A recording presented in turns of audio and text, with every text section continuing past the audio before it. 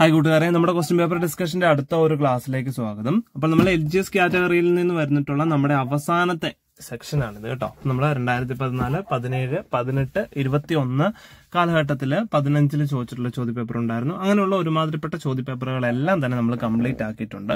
ഈ ഒരു question paper നമ്മുടെ അവസാനത്തെ ക്ലാസ് ആണിത് അപ്പൊ ഇനിയും എന്തെങ്കിലുമൊക്കെ മിസ്സായി പോയിട്ടുണ്ടെങ്കിൽ ഞാൻ ഇടയ്ക്ക് ചെക്ക് ചെയ്തിട്ട് അതെല്ലാം നിങ്ങൾക്ക് കൊണ്ടുവന്ന് തരാം കേട്ടോ. അപ്പൊ ക്വസ്റ്റ്യൻ പേപ്പേഴ്സിന്റെ പഠനം നമ്മൾ നല്ല രീതിയിൽ മുമ്പോട്ടേക്ക് കൊണ്ടുപോവുകയാണ്. അപ്പൊ നാളെ തൊട്ട് നമ്മൾ ടെൻത്ത് ലെവലിലേക്ക് അതായത് എൽ ഡി സി ലെവലിലേക്ക് പോകും. എൽ ജി എസ് ശരിക്കും പറഞ്ഞു കഴിഞ്ഞാൽ ഏഴ് എട്ട് ലെവലിലേക്കൊക്കെയാണ് എൽ ജി എസിൽ ചോദ്യങ്ങൾ കൂടുതൽ വരുന്നത്. അപ്പൊ നമ്മൾ നാളെ ടെൻത്ത് ലെവലിലേക്ക് പോകും. അപ്പൊ എല്ലാവരും നല്ല രീതിയിൽ പഠിക്കുക കേട്ടോ.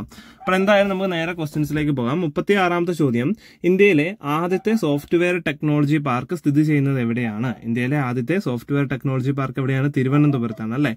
ഇത് കഴിഞ്ഞ പ്രാവശ്യത്തെ വി എഫ് എ ചോദ്യത്തിന് അതായത് വി എഫ് എ കഴിഞ്ഞിടക്ക് നടന്ന വില്ലേജ് ഫീൽഡ് അസിസ്റ്റന്റ് എക്സാമിലെ ഒരു ചോദ്യമായിരുന്നു. ആദ്യത്തെ ടെക്നോളജി പാർക്ക് സ്ഥിതി ചെയ്യുന്നത് എവിടെ? എവിടെയാണ് തിരുവനന്തപുരത്താണ്. അപ്പൊ ഇത് ഓർത്തണം രണ്ടായിരത്തി പതിനാലിലെ ഒരു ചോദ്യം തന്നെയാണ് എന്ത്? രണ്ടായിരത്തി ഇരുപത്തി ഒന്നിൽ അല്ല ഇരുപത്തിരണ്ടല്ല ഇരുപത്തി മൂന്നിൽ വന്നത് എന്ന് ഓർത്തണം കേട്ടോ. ഓർത്തിരിക്കുക. അപ്പൊ പഴയ ചോദ്യങ്ങളുടെ ഇമ്പോർട്ടൻസ് എത്രത്തോളം വലുതാണെന്ന് നമുക്ക് അങ്ങനെ തന്നെ മനസ്സിലാക്കാം. ഏറ്റവും പുതിയ പാറ്റേണിലുള്ള ചോദ്യങ്ങൾ തന്നെയല്ലേ നമുക്ക് രണ്ടായിരത്തി ഇരുപത്തി മൂന്നിൽ കിട്ടുന്നത് അതേലോ? അപ്പോഴോ? അപ്പൊ നിങ്ങൾ ഓർത്ത് നോക്കിയേ. പഴയ ക്വസ്റ്റ്യൻ പേപ്പർ പഠിച്ചു കഴിഞ്ഞ ആൾക്കാർക്കെല്ലാം സിമ്പിൾ ആയിട്ട് കുറെ അധികം മാർക്ക് നമുക്ക് പുതിയ പുതിയ പാറ്റേണിൽ തന്നെ നേടാനായിട്ട് പറ്റുന്നുണ്ട്. ഇനി ലെൻസിന്റെ പവർ അളക്കുന്ന യൂണിറ്റ് ചോദ്യമാണ്. ലെൻസിന്റെ പവർ അളക്കുന്ന യൂണിറ്റ് ആണ്. ഏതാ നമുക്കറിയാം? ഡയോപ്റ്റർ ആണ്. ലെൻസിന്റെ പവർ അളക്കുന്ന യൂണിറ്റ് ചോദിച്ചു കഴിഞ്ഞാൽ ഡയോപ്റ്റർ ആണ്.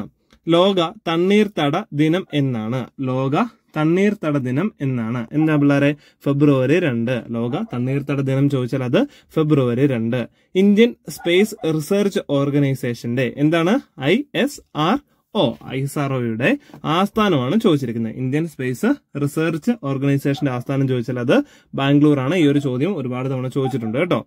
ഭയം ഉണ്ടാകുമ്പോൾ ഉൽപ്പാദിപ്പിക്കുന്ന ഹോർമോൺ ഏതാണ്? ഭയം ഉണ്ടാകുമ്പോൾ ഉൽപ്പാദിപ്പിക്കുന്ന ഏതാണ്? അഡ്രിനാലിൻ ആണ് കേട്ടോ. പെട്ടെന്ന് നമ്മൾ ഞെട്ടുമ്പോഴാണ് ഉൽപ്പാദിപ്പിക്കപ്പെടുന്നുണ്ട്? അഡ്രിനാലിൻ എന്ന ഹോർമോണ് ഉൽപ്പാദിപ്പിക്കപ്പെടുന്നുണ്ട് എന്ന് ഓർത്തോണം. ഇന്ത്യയിലെ നീളം കൂടിയ നദി ചോദിച്ചാൽ ഏതാ പിള്ളേരെ? അതിന്റെ ഉത്തരം നമ്മൾ കണ്ട ചോദ്യമാണല്ലോ. ഏതാണ്? ഗോദാവരിയാണ്. ഉപദ്വീപീയ ഇന്ത്യയിലെ നീളം കൂടിയ നദി ചോദിച്ചാൽ ഏതാണ്? ഗോദാവരി. കൊല്ലവർഷം ആരംഭിക്കുന്നത്. ഈ ചോദ്യവും ആവർത്തനമാണ് കേട്ടോ. രണ്ടായിരത്തി ഇരുപത്തി മൂന്നിൽ ഈ ചോദ്യം ചോദിച്ചിട്ടുണ്ട്. വരും ക്വസ്റ്റ്യൻ പേപ്പേഴ്സിൽ നിങ്ങൾ ഈ ക്വസ്റ്റ്യൻ ഇനിയും കാണും. എ ഡി എണ്ണൂറ്റി ഇരുപത്തി അഞ്ച് കൊല്ലവർഷം ആരംഭിക്കുന്നത് എ ഡി എണ്ണൂറ്റി ഇരുപത്തി അഞ്ചാണ് കേട്ടോ. ദെൻ അർബുദം ബാധിക്കാത്ത മനുഷ്യ അവയവമാണ് അടുത്ത ചോദ്യം. അർബുദം അതായത് ക്യാൻസർ ക്യാൻസർ ബാധിക്കാത്ത മനുഷ്യ അവയവം ചോദിച്ചാൽ നമ്മൾ എന്തെഴുതും? ഹൃദയം എന്നെഴുതും. എന്തെന്നെഴുതും ഹൃദയം എന്നെഴുതുമ്പോൾ കറക്റ്റ് ആയിട്ട് പഠിക്കുക കേട്ടോ. ഇന്ത്യയിലെ ആദ്യത്തെ സോഫ്റ്റ്വെയർ ടെക്നോളജി പാർക്ക് നമ്മൾ കഴിഞ്ഞ കറണ്ട് അഫയർ ക്ലാസ്സിൽ ഇതിനെക്കുറിച്ച് ഒരു ചോദ്യം ഇട്ടിട്ടുണ്ടായിരുന്നു കേട്ടോ. അപ്പൊ കറണ്ട് അഫയർ ക്ലാസ് കൃത്യമായിട്ട് കാണാനായിട്ട് നിങ്ങൾ ശ്രദ്ധിക്കണേ. ഇപ്പൊ തിരുവനന്തപുരമാണ്. ലെൻസിന്റെ പവർ അളക്കുന്ന ഡയോപ്റ്റർ ആണ്. ലോക തണ്ണീർത്തട ദിനം ഫെബ്രുവരി രണ്ട് നമുക്കറിയാം. ഐ എസ് ആർഒയുടെ ആസ്ഥാനം ഇന്ത്യൻ സ്പേസ് റിസർച്ച് ഓർഗനൈസേഷന്റെ ആസ്ഥാനം ചോദിച്ചാൽ അത് ബാംഗ്ലൂർ ആണ് ഫയം ഉണ്ടാകുമ്പോൾ നമ്മൾ അഡ്രിനാലിൻ ഉൽപ്പാദിപ്പിക്കുന്നു. ഉപദ്വീപീയ ഇന്ത്യയിലെ ഏറ്റവും നീളം കൂടിയ നദിയാണ് ഗോദാവരി. കൊല്ലവർഷം ആരംഭിക്കുന്നത് എ ഡി എണ്ണൂറ്റി ഇരുപത്തി അഞ്ച് അർബുദം ബാധിക്കാത്ത അവയവമാണ് ഇത് ഹൃദയം. ഓക്കെ. ഇന്ന് ഇന്ന് തന്നെ നമ്മൾ രണ്ടായിരത്തി ഇരുപത്തി ഒന്ന് ഇരുപത്തിരണ്ട് കാലഘട്ടത്തിലെ പ്രധാനപ്പെട്ട അവാർഡുകളുടെ ഒരു ക്ലാസ് ചെയ്യുന്നുണ്ട്. അതുപോലെ തന്നെ ഇന്ന് തന്നെ നമ്മൾ രണ്ടായിരത്തി ഇരുപത്തിരണ്ടിലെ നോബൽ പ്രൈസിന്റെ ക്ലാസ് കൂടി ചെയ്യുന്നുണ്ട് കേട്ടോ. അത് മാത്രമല്ല അടുത്ത ഒരു എക്സാം ഓൾറെഡി നാല് കറണ്ട് അഫയർ ക്ലാസ്സുകൾ നമ്മൾ ചെയ്തു. അതിന് പുറമെയാണ് ഇത്തരത്തിലുള്ള ചെറിയ ചെറിയ സെക്ഷൻസ് നിങ്ങൾക്ക് കൊണ്ടുവന്ന് തരുന്നത്. അതിന് പുറമെ ഇന്ന് നമ്മുടെ കറണ്ട് അഫയറിന്റെ യൂണിവേഴ്സിറ്റി എൽ ജി എസ് എക്സാമിനെ ബേസ് ചെയ്ത് സ്റ്റാർട്ട് ചെയ്തിട്ടുള്ള കറണ്ട് അഫയറിന്റെ അഞ്ചാമത്തെ ക്ലാസ് കൂടി ഞാൻ അപ്ലോഡ് ചെയ്യുന്നതായിരിക്കും കേട്ടോ. എക്സാമിന് മുന്നേ നിങ്ങൾക്ക് മാക്സിമം മാർക്ക് സ്കോർ ചെയ്യാനായിട്ട് വരും നമ്മുടെ ക്ലാസ് ഒന്ന് കണ്ടു കഴിഞ്ഞ് കഴിഞ്ഞാൽ ആ ഒരു ഫാക്ട് ഒന്നും നിങ്ങൾ മറന്നു പോകത്തില്ല. ആ ഒരു രീതിയിൽ തന്നെയാണ് നമ്മൾ പറഞ്ഞു പോകുന്നത്. ഓക്കെ നാൽപ്പത്തി നാലാമത്തെ ചോദ്യം. നിങ്ങൾക്ക് ഈ ഒരു ചാനൽ ഇഷ്ടപ്പെടുന്നുണ്ടെങ്കിൽ തീർച്ചയായിട്ടും സബ്സ്ക്രൈബ് ചെയ്യാനായിട്ട് മറക്കരുത്. കേരളത്തിലെ ഏക കണ്ടോൺമെന്റ് ചോദിച്ചാൽ ഏതാ പിള്ളേരെ നമുക്കറിയാം? കണ്ണൂരാണ്. കേരളത്തിലെ ഏക കണ്ടോൺമെന്റ് കണ്ണൂർ. കണ്ടോൺമെന്റ് കണ്ണൂർ എന്ന് പഠിച്ചാൽ പോരെ. കണ്ടോൺമെന്റ് ഏതാണ്? കണ്ണൂരാണ്. മഴമേഘങ്ങൾ എന്നറിയപ്പെടുന്ന ഏതാണ്? നിംബസ് എന്താണ്? നിംബസ് കറക്റ്റ് ആയിട്ട് പഠിച്ചോണം. മഴമേഘങ്ങൾ എന്നറിയപ്പെടുന്നതാണ് ഇത്. നിംബസ് കേട്ടോ. അത് എങ്ങനെ നമ്മൾ ഓർത്തിരിക്കുന്നത് മഴ. മഴ. മഴ പെയ്യുമ്പോൾ എന്താണ്? വെള്ളം വരും. ആ കണ്ണുനീര്. നീര് എന്ന് ഓർക്കാം അല്ലെ? അങ്ങനെ ജസ്റ്റ് ഒന്ന് കണക്ട് ചെയ്യാം. കണ്ണുനീരിൽ ആണല്ലോ വെള്ളം ഉള്ളത്. അപ്പൊ നീരിലാണല്ലോ എന്തോ വെള്ളം ഉള്ളത് അല്ലെ? അപ്പൊ നിംബസ് എന്ന് ഓർത്തിരിക്കുക. നിംബസ് മഴമേഘങ്ങൾ. അതൊന്ന് കണക്ട് ചെയ്യാനായിട്ട് എന്തെങ്കിലും വഴി ഉണ്ടെങ്കിൽ നിങ്ങൾ ജസ്റ്റ് ഒന്ന് കമന്റ് ഇട്ടേക്കണം കേട്ടോ. നിംബസ് ആണ് മഴമേഘങ്ങൾ. കാരണം എക്സാമിന്റെ സമയത്ത് നമുക്ക് ക്യുമുലസ് ആണോ സ്റ്റാറ്റസ് ആണോ സിറസ് ആണോ എന്നൊന്നും ഡൗട്ട് അടിക്കരുതേ. ഇപ്പൊ നിംബസ് എന്താണ്? മഴമേഘങ്ങളാണ് എന്ന് ഓർത്തിരിക്കുക. നിംബസ് മഴമേഘങ്ങളാണ്. മാർബിളിന്റെ ശാസ്ത്രനാമം ചോദിച്ചിട്ടുണ്ട്. സോറി രാസനാമം. ശാസ്ത്രനാമം അല്ല കേട്ടോ. രാസനാമം. മാർബിളിന്റെ രാസനാമം എന്താണ് പിള്ളേരെ? ആ നമുക്കറിയാം കാൽസ്യം കാർബണേറ്റ് ആണ്. ഇത് ഒരുപാട് തവണ ആവർത്തിച്ചിട്ടുള്ളതാണ്. വരും എക്സാംസിലൊക്കെ കാണും. രണ്ടായിരത്തി പതിമൂന്നിലെ എഴുത്തച്ഛൻ പുരസ്കാരം ആർക്കാണ് നമ്മൾ പഠിക്കേണ്ട ഇരുപത്തൊന്ന് ഇരുപത്തിരണ്ട് ഇന്നത്തെ ക്ലാസ്സിൽ ഞാൻ ചെയ്യുന്നുണ്ട്. ഹോക്കിയുമായി ബന്ധപ്പെട്ടതാണ്. താഴെ കുറച്ച് എന്ത് വന്നിട്ടുണ്ട്? കുറച്ച് കപ്പുകൾ വന്നിട്ടുണ്ട്. അതിലേതാണ് ഹോക്കിയുമായി ബന്ധപ്പെട്ടതെന്നാണ് ചോദ്യം. ആൻസർ ആഖാ ഖാൻ കപ്പാണ് കേട്ടോ. Aga Khan Cup Euro Cup Copa America രണ്ടും ഫുട്ബോളുമായിട്ട് ബന്ധപ്പെട്ടിരിക്കുന്നു. രഞ്ജി ട്രോഫി ക്രിക്കറ്റുമായിട്ട് ബന്ധപ്പെട്ടിരിക്കുന്നു.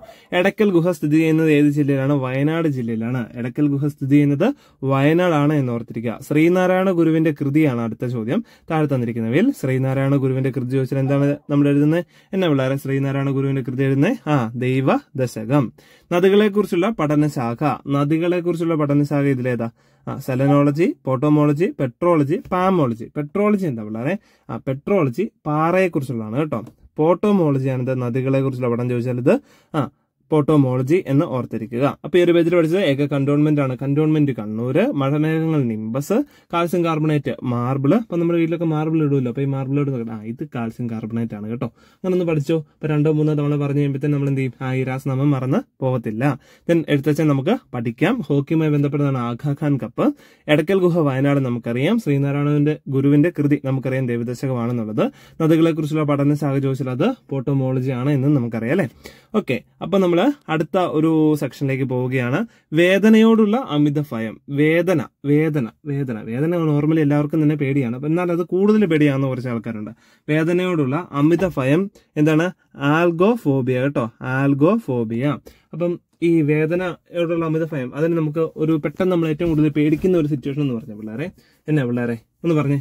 ആ നമ്മൾ ഹോസ്പിറ്റലിൽ പോകുമ്പോൾ നമുക്ക് വല്ല പനിയൊക്കെ പിടിച്ചിട്ടാണ് പോകുന്നത്. ഇഞ്ചക്ഷൻ എടുക്കും ഓ ഇന്ന് ഇഞ്ചക്ഷൻ എടുക്കണമല്ലോ.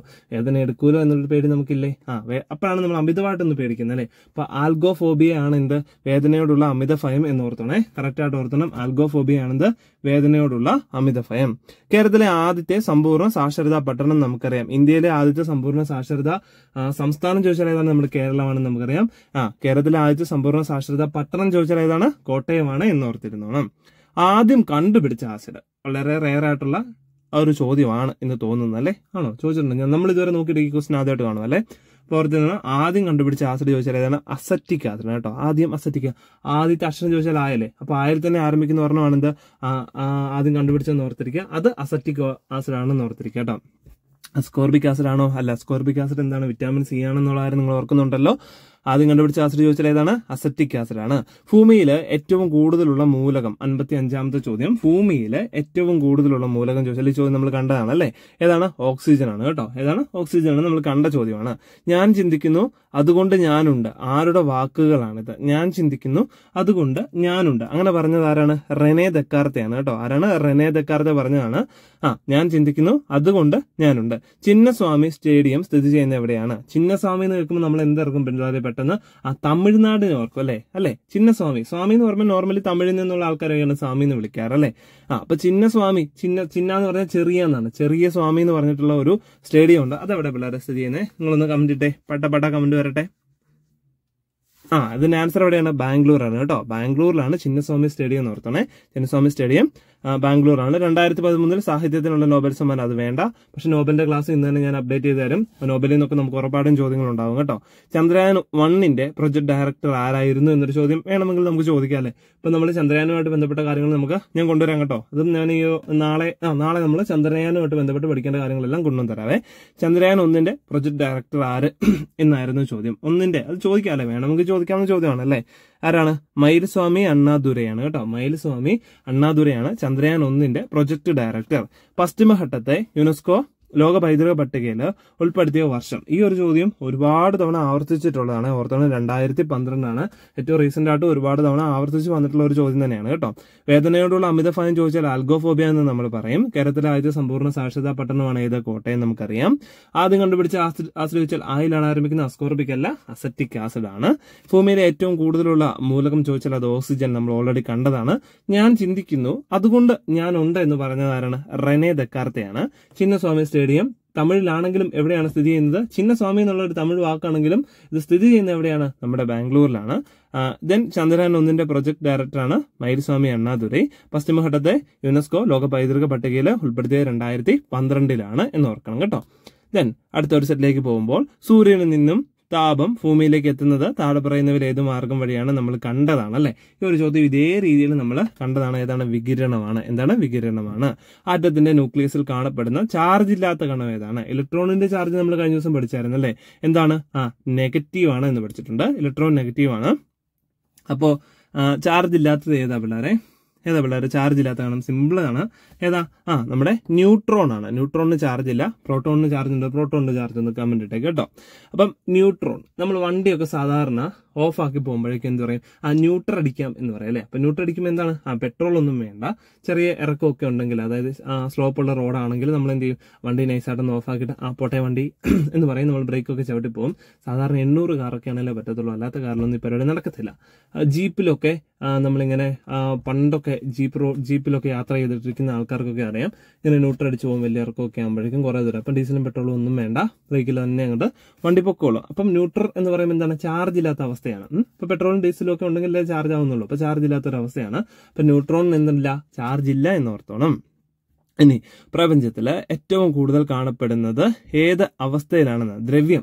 കേട്ടോ പ്രപഞ്ചത്തിൽ ദ്രവ്യം കാണപ്പെടുന്നത് ഏത് അവസ്ഥയിലാണ് ഏറ്റവും കൂടുതൽ എന്നാണ് ചോദ്യം. ഏതാണ് നമുക്കറിയാം? ഏതാണ്? പ്ലാസ്മയാണ് കേട്ടോ. ഏതാണ്? പ്ലാസ്മ. പ്രപഞ്ചത്തിലെ ദ്രവ്യം ഏറ്റവും കൂടുതൽ കാണപ്പെടുന്നത് പ്ലാസ്മ അവസ്ഥയിലാണ്. സൂര്യനോട് ഏറ്റവും അടുത്ത് നിൽക്കുന്ന ഗ്രഹം ഓൾറെഡി നമ്മൾ കണ്ട ചോദ്യമാണ് അല്ലെ? സൂര്യനോട് ആരാണ്? ബുധനാണ്. നമ്മൾ ഓൾറെഡി കണ്ട ചോദ്യമാണ്. ടോർച്ചിലെ റിഫ്ലക്ടർ നമ്മൾ ഇതും ഓൾറെഡി കണ്ട ചോദ്യമാണ്. ടോർച്ചിലെ റിഫ്ലക്ടറായിട്ട് ഉപയോഗിക്കുന്ന ദർപ്പണമാണ് ചോദിച്ചിരിക്കുന്നത്. ടോർച്ചിലെ റിഫ്ലക്ടറായിട്ട് ഉപയോഗിക്കുന്ന ദർപ്പണം കോൺകേവ് ദർപ്പണമാണ്. ടോർച്ചിലെ റിഫ്ലക്ടറായിട്ട് ഉപയോഗിക്കുന്ന ദർപ്പണം ചോദിച്ചാൽ അത് കോൺകേവ് ആണ് ബോക്സൈറ്റ് ഏതിന്റെയാണ്? അലൂമിനിയം നമ്മൾ കണ്ടതാണ്. കത്താൻ സഹായിക്കുന്നത് ആരാണ് പിള്ളേരെ? ഓക്സിജൻ ആണോ? കത്താൻ സഹായിക്കുന്ന ആരാണ്? ഓക്സിജൻ ആണോ? ആ ഓക്സിജൻ ആണ് കേട്ടോ. ഓക്സിജൻ ആണ് കത്താൻ സഹായിക്കുന്നത്. അണക്കെട്ടിൽ കെട്ടി നിർത്തിയിരിക്കുന്ന ജലത്തിന് എന്ത് ഊർജമാണോ ഉള്ളത്? ഒരു അണക്കെട്ട് നിറയെ വെള്ളം നിൽക്കുവാണ്. അതിന് എന്ത് ഊർജമാണ്? ഗതികോർജമാണോ? യാന്ത്രികോർജമാണോ? സ്ഥിതികോർജമാണോ?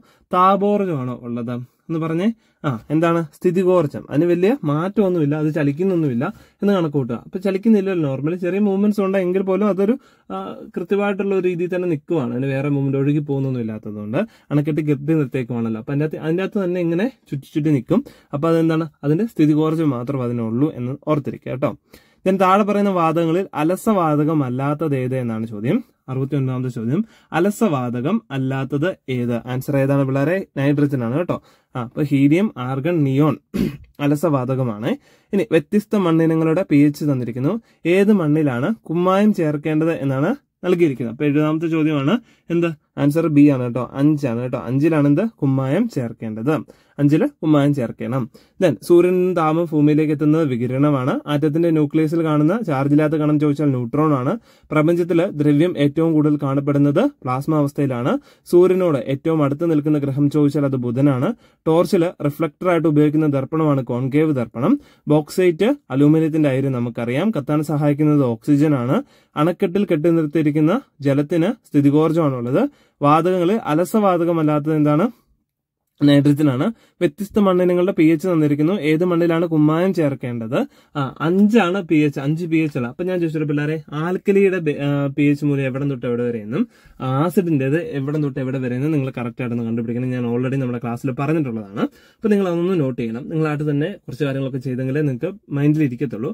അങ്ങനെ ഈ ഒരു ക്വസ്റ്റൻ എന്തെങ്കിലും ഡൗട്ട് അടിച്ചിട്ടുണ്ടെങ്കിൽ നിങ്ങൾ അത് നോക്കണം. എന്നിട്ട് എന്തുകൊണ്ടാണ് മണ്ണിൽ ഇങ്ങനെ പി എച്ച് മൂല്യം വന്നപ്പോൾ കുമ്മായം ചേർക്കണം അതായത് മണ്ണിന്റെ എന്തു സ്വഭാവം കാരണമായിട്ടാണ് ആയിട്ടാണ് ഇത്തരത്തിൽ കുമ്മായം ചേർക്കേണ്ടി വന്നത് എന്നൊന്ന് നിങ്ങൾ കണ്ടുപിടിക്കണം. എന്നിട്ട് നിങ്ങൾ കമന്റ് ഇടണം കേട്ടോ. നിങ്ങൾ സ്വയം എത്രത്തോളം വർക്ക് ചെയ്യുന്നുണ്ടെന്ന് നിങ്ങൾക്ക് സ്വയം മനസ്സിലാക്കാനായിട്ട് പറ്റും. എപ്പോഴും മറ്റൊരാൾ നിങ്ങൾക്ക് കുറെ കണ്ടന്റുകൾ കൊണ്ട് തന്നിട്ട് നിങ്ങൾ ഒരിക്കലും നിങ്ങൾക്ക് മുന്നിൽ എത്താനായിട്ട് പറ്റില്ല. നമ്മൾ തന്നെ തേടി തേടി ഒരുപാട് കാര്യങ്ങൾ കണ്ടുപിടിക്കേണ്ടതായിട്ടുണ്ട്.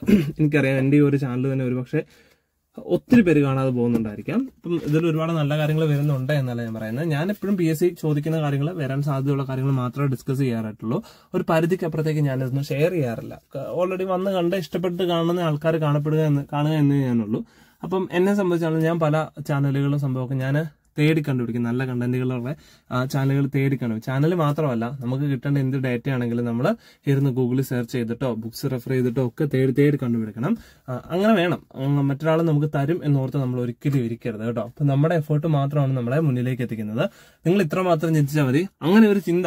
നിങ്ങൾ കുറച്ച് ആൾക്കാർക്ക് കാണുമായിരിക്കും ഉറപ്പായിട്ടും. അങ്ങനെ ഒരു ചിന്ത നിങ്ങൾക്ക് ഉണ്ടെങ്കിൽ തേടി തേടി കണ്ടുപിടിക്കുന്ന ഒരുപാട് പേര് നമുക്ക് ചുറ്റും ഉണ്ട്. അവർ നമ്മുടെ മുന്നിൽ കയറി പോകും എന്ന് മാത്രം ചിന്തിക്കുക കേട്ടോ. നിങ്ങളുടെ പരിശ്രമം മാത്രമാണ് നിങ്ങളെ വിജയത്തിലേക്ക് എത്തിക്കുന്നത്. മറ്റൊരാളുടെ ഒരു ഇൻഫ്ലുവൻസ് ഒന്നും അതിലില്ല.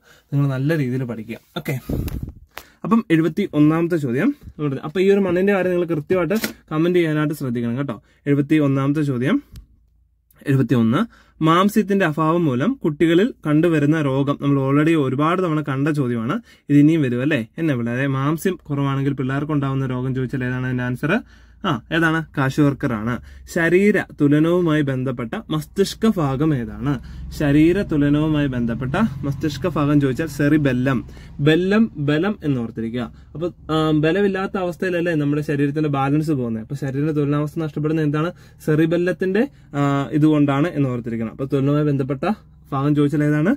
സെറിബെല്ലം ബെല്ലം. ബലമാണ് എന്ന് ഓർത്തോണം കേട്ടോ. അപ്പൊ അവിടെ നമുക്ക് കിട്ടുമല്ലോ. തന്നിരിക്കുന്നവയിൽ മോണീഷ്യസ് അല്ലാത്ത സസ്യം ഏതാണ്? തന്നിരിക്കുന്നവയിൽ മൊണീഷ്യസ് അല്ലാത്ത സസ്യം എന്താണ് എന്ന് പറഞ്ഞ പിള്ളേരെ എന്താണ്?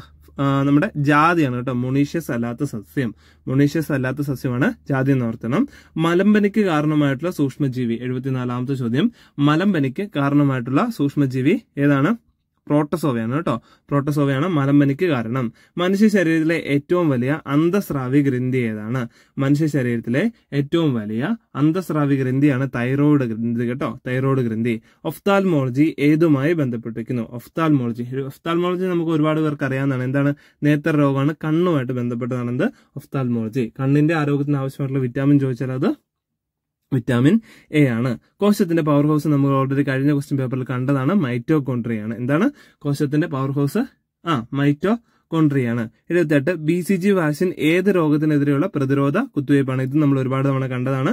ക്ഷയമാണ് മനുഷ്യ ശരീരത്തിൽ യൂറിയ നിർമ്മാണം നടക്കുന്നത് എവിടെ വെച്ചാണ്? അപ്പൊ കുറച്ച് ഓപ്ഷൻസ് നോക്കിയേ. അതിൽ എവിടെ വെച്ചിട്ടാണ് യൂറിയയുടെ നിർമ്മാണം നടക്കുന്നത്? ആൻസർ കരളാണ് കേട്ടോ. കരളിൽ വെച്ചിട്ടാണ് യൂറിയ. രക്തപര്യനം കണ്ടെത്തിയ ശാസ്ത്രജ്ഞൻ ആരാണ്? രക്തപര്യനം കണ്ടെത്തിയ ശാസ്ത്രജ്ഞൻ വില്യം ആണ് കേട്ടോ. ആരാണ്? William Harvey. അപ്പൊ കൂട്ടുകാരെ നമ്മുടെ ഈ ഒരു ക്വസ്റ്റ്യൻ പേപ്പർ ഡിസ്കഷൻ കംപ്ലീറ്റ് ആയിട്ടുണ്ട് എൽ ജി എസ് കാറ്റഗറിയിലുള്ളത് അപ്പൊ നോക്കിയാൽ ഒന്ന് ലാസ്റ്റ് പേജിൽ പഠിച്ചത്. മാംസ്യത്തിന്റെ അഭാവം മൂലം കുട്ടികളിൽ കണ്ടുവരുന്ന രോഗമാണ് കാശുവർക്കർ.